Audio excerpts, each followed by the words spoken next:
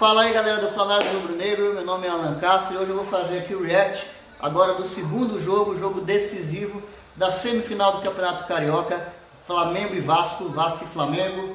Flamengo venceu a primeira partida, como todos sabem, por 3 a 2 num belo jogo. É, e a partida agora vai começar. Então vamos torcer, hoje, se Deus quiser, vai dar bingão na final, que será contra o Fluminense, quem passar daqui, já está classificado classificou ontem ao derrotar com uma goleada surpreendente aí contra o Volta Redonda. Beleza, galera? Então vamos ao jogo e que dê Megão, se Deus quiser. Boa, galera. Boa, boa, boa, boa, bora, galera. Ih, ih, bora, Rafa, que drible. Bora, Pedro, bora, Pedro, bate, porra. Bate, porra. Ah, velho. Bora, Flamengo. Bora, meu filho, solta essa bola. Bora, Pedro, bateu, gol!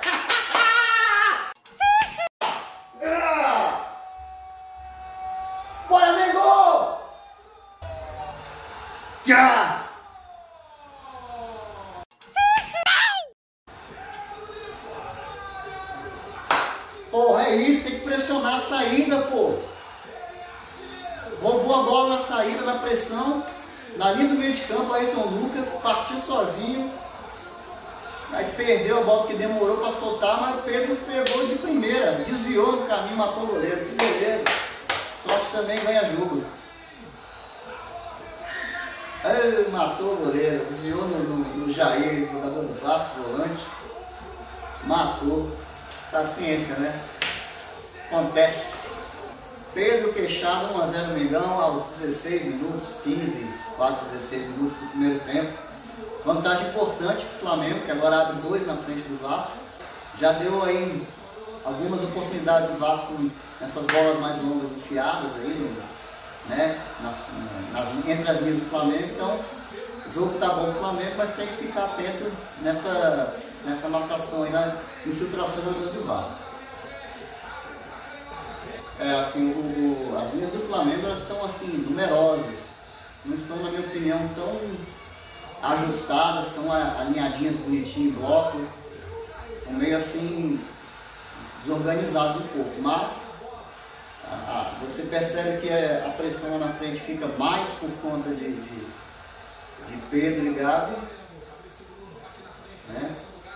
mas do Arrascaeta para trás, todo mundo está voltando aí na, na, na organização defensiva. Hum. Oh, gol do Vasco.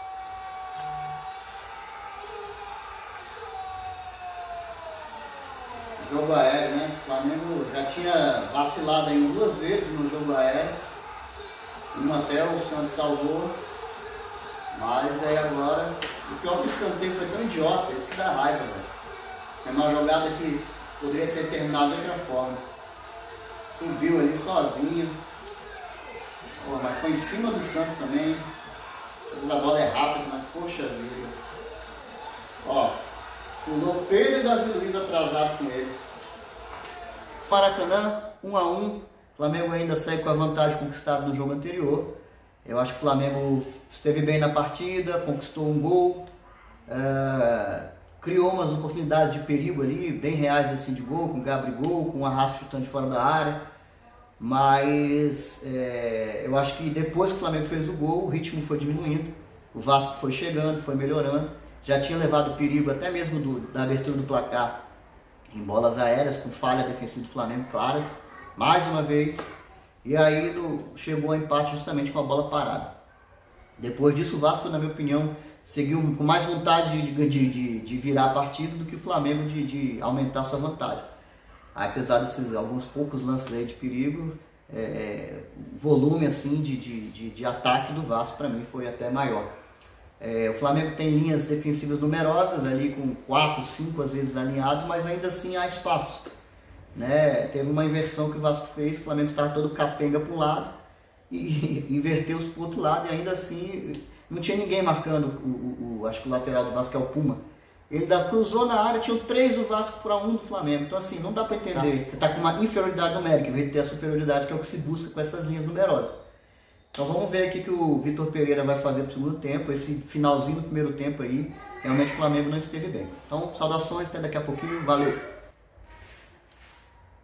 Bora galera, vamos lá para o segundo tempo. Vamos ver o que, que Vitor Pereira vai trazer de novidade. Se ele vai conseguir ajustar essa linha do Flamengo, que realmente estão deixando ainda muito espaço. Vamos lá. Galera, 5 minutos do segundo tempo. Flamengo ficou no vestiário. Flamengo ficou no vestiário. Já sofremos aqui três, três oportunidades aqui, agora mais uma falta pro Vasco. De perigo, entendeu? É real de gol, porque o Flamengo está dormindo. O Flamengo. Os, os zagueiros, os três zagueiros estão batendo cabeça, não está adiantando o sistema. Se você põe três zagueiros que não conseguem ter uma segurança defensiva, não conseguem desarmar a jogada, não precisa de três zagueiros. Aí, mais uma vez, quase que saiu o gol do Vasco. De novo, 3, 38 zagueiros e, e o jogo aéreo o Flamengo não ganha.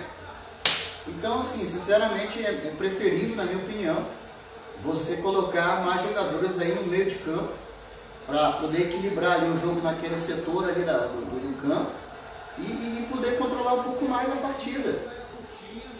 Porque tá uma merda até agora, tá uma merda. A síndrome do segundo tempo lixão é o que está acontecendo. Flamengo jogando com três zagueiros, dois volantes. As linhas, como eu já falei, super numerosas defensivamente. E os jogadores do Vasco continuam sozinhos na porra da bola. Entendeu? Os caras recebem do outro lado de campo com toda a liberdade do mundo. E pra que que tá com três zagueiros então? Lá vem o Flamengo. Tá um lixo. O Flamengo tá um lixo, tá uma água. Se o Vitor Pereira não mudar logo, o Flamengo vai tomar a virada. E merecidamente. Galera, 13 minutos do segundo tempo. O Vitor Pereira vai mudar. Pra mim já até demorou, porque pelo que o Flamengo apresentou até agora, demorou. Entraram Vidal, Everton Ribeiro e Varela. E saíram Gabigol, né, que já gerou aqui ó, ó, discussões. Saiu é, Rodrigo Caio e Everton Cebolinha, que realmente esteve mal. Até porque estava jogando no lado errado, invertido.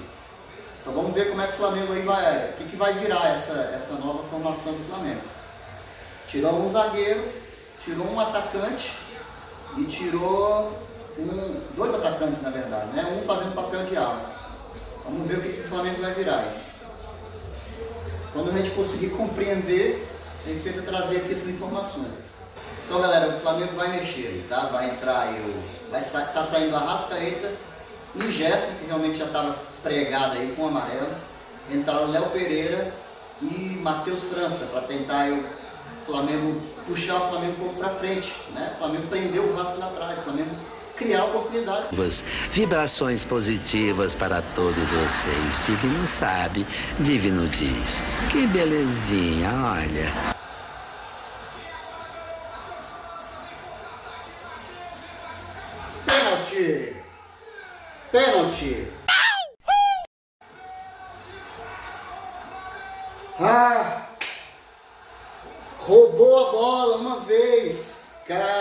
Velho. Matheus França é isso. Pra isso que os moleques têm que entrar. Pra botar pilha no jogo, velho.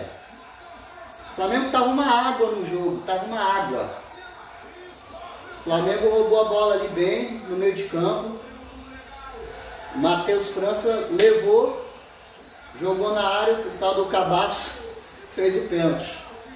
É a chance do Flamengo garantir uma, uma classificação para a final, porque ele não está jogando nada para isso. Bora, Pedro! Para botar na frente, hein? Justiça se faz, o torcedor do Flamengo estava empurrando agora, hein? Mesmo o Flamengo uma área.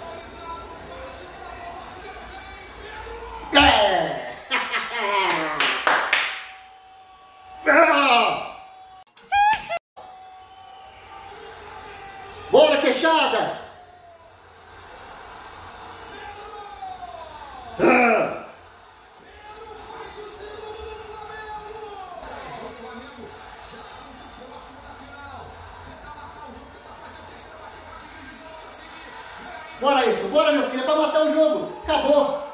Acabou. uh! Fecha a conta e passa a régua. Fecha a conta e passa a régua. Creu. Creu. Ayrton Lucas do Brasil. Ah, moleque. Tá reclamando de quê, meu irmão? Para de ser chorão, porra. Cara, o Vasco dormiu na falta, não tem que esperar o juiz fazer barreira, não tem nada disso, meu irmão. Deu mole, o, o Pedro, acho que foi muito esperto no lance, viu o Ayrton Lucas lançou, ele conseguiu já ganhar do zagueiro, até porque no final do jogo os caras estão cansados, não aguentam mais correr atrás. E, e, deu um belo toque aí na saída do goleiro, matou a partida, agora já era. É, agora já era. O Flamengo está classificado para a finalíssima Fla-Flu, quarto ano seguido, hein? Vai pedir a bola, juizão. Fim de papo!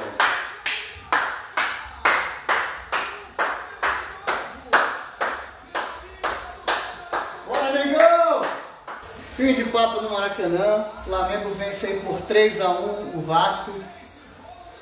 É, com o primeiro tempo até bem disputado entre as equipes. Né? Mas o segundo tempo o Flamengo mais uma vez aí sofreu da síndrome do segundo tempo. O time desmontou, desfacelou, desorganizou. Demos sorte, poderíamos ter tomado aí mais algum, é, a virada do Vasco tranquilamente logo no início do, do segundo tempo. Isso faria uma história provavelmente diferente da partida, que o Flamengo ia ter que correr atrás. E do jeito que estava, não sei se teria força. Mas na segunda leva de substituição, que ele tirou a rasqueta, que já estava muito cansado, e Gerson, que estava cansado e amarelado. Ele colocou aí o Matheus França, né? Entre os que entraram em campo. E o Flamengo conseguiu ali um, um, uma forma de pressionar melhor a saída do Vasco, principalmente na linha do meio de campo. Roubou algumas bolas assim, tanto que teve uma falta caída por Gerson em campo, que levou perigo para a equipe do Flamengo. E aí numa dessas o Matheus França roubou a bola, chegou e foi derrubado da área, pênalti. E aí foi o, gol da, o segundo gol do Flamengo que deu uma guinada na partida, deu uma tranquilidade para o Flamengo que não tinha até então. E assim, justiça se faça antes do pênalti acontecer e consequentemente o gol. O Flamengo vinha numa. A torcida do Flamengo começou a empurrar a equipe. Mengo, Mengo, vamos Mengo e tal. Isso leva energia para o campo, né? A torcida comprou aí essa briga, digamos assim, mesmo o Flamengo não merecendo, mas é para isso que ele serve, né? Para apoiar. E aí o Flamengo buscou esse, essa força e conseguiu com o garoto. Que depois, logo depois, teve uma segunda vez que ele roubou a bola, saiu ali com chance de fazer o gol, chutou, uma bela chute, mas o goleiro encaixou. E também dessa forma o Flamengo conseguiu uma falta, numa uma espécie de, de roubada de bola ali, o próprio Matheus França, se não me engano, sofreu essa falta. Pedro roubou, pegou a bola, bateu rapidamente. O Ayrton Lucas é, ganhou na corrida do zagueiro do Vasco. É, e acabou tocando ali um, um, um, belo chute por cima do gol do, do, goleiro do Vasco.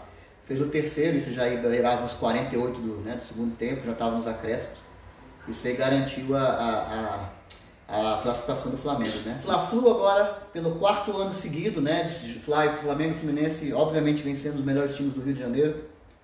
É, vão disputar aí mais uma vez uma final. De momento o Flamengo ganhou duas no Fluminense, o que acabou culminando no tricampeonato do Flamengo, né? É, a chance do Flamengo ter uma revanche da, do ano passado e a chance de descontar aí a, a taça Taça Guanabara que o Flamengo perdeu de virar o Fluminense. Devemos alertar que se o Flamengo fizer um segundo tempo péssimo, assim, tal qual fez contra o Fluminense, tal qual fez hoje, dificilmente vai conseguir sair campeão. É, então aí a galera que quiser dar essa moral pra gente, se inscreva no canal, curta, compartilhe com seus amigos rubro-negros, com os antes também, entendeu? Aqui não tem essa, aqui é democrático esse tipo de participação. É, trocar uma ideia com a gente aqui sobre futebol, sobre o Flamengo, sobre a partida que acabou agora, sobre a preparação do Flamengo. A gente vai sempre que possível responder e trazer isso. A gente vai começar a trazer isso para os nossos vídeos né, de formativos para a gente trocar uma ideia sobre futebol. Fique conosco, até a próxima, valeu!